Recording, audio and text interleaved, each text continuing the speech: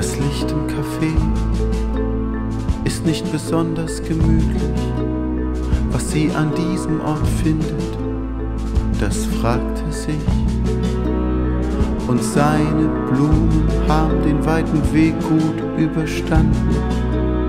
Das ist doch schon mal etwas. Als er sagte, es wäre nichts von Bedeutung, einfach wieder treffen, da hatte ihre Stimme diesen Klang, diesen Unterton.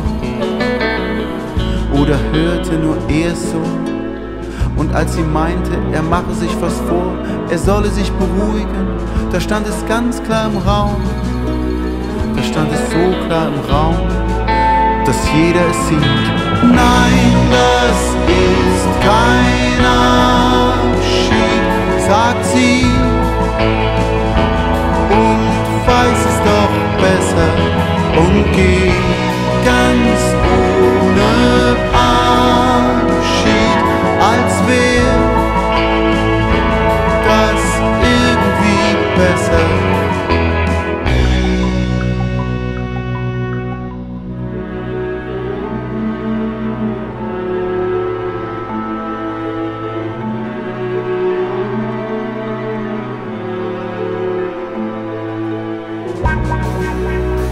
Und er fühlt sich so, als würde er ständig im Weg stehen. Und er hört sich reden und atmen.